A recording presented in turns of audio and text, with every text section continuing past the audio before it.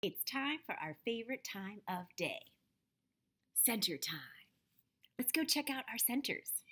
Start over here in our art studio. We have our paper and lots of paints. Now, in the art studio, you could paint pictures of lots of animals.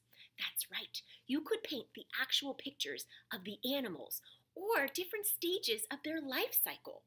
You could even paint their habitat. Lots of things you could paint about animals and habitats. You could also use any of the beautiful stuff. You could create your own habitats for these animals using beautiful stuff. That's right. You could use paper towel rolls, you could use boxes, you could use tissue paper. You could make your very own woodlands and put different animals in there.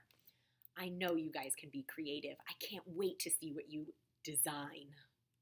Over here in the Writing Center, we could do lots of writing and drawing. I have tons of materials I could use, like crayons, colored pencils, markers. We're going to be learning how to draw lots of different animals.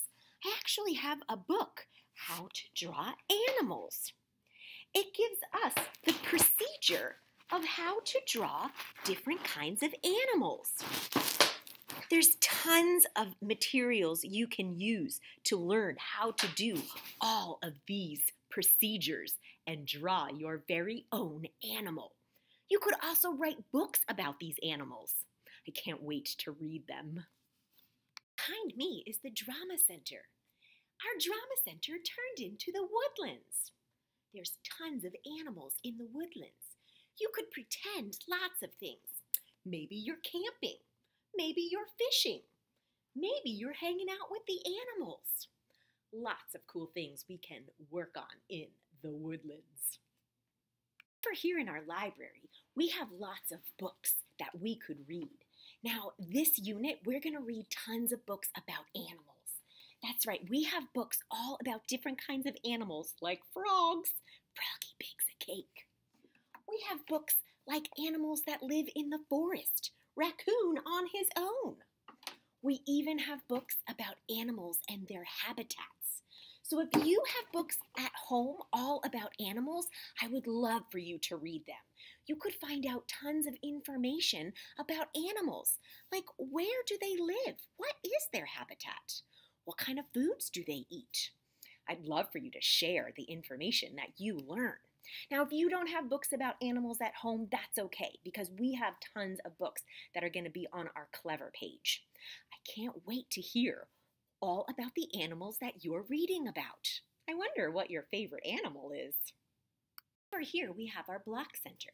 Now, in our block center, we can do lots of building, things like habitats. I have an underwater habitat right here. I started building with my blocks. I have a couple different animals for underwater that I'm going to use in my block center. You could also do things like building animals. I have a frog I'm working on right now. I'm going to use those blocks and build the biggest frog I've ever seen. You can do that too. We also have our Science and Technology Center where you'll continue to do lots of really interesting experiments. Finally, we have our Mindfulness Center.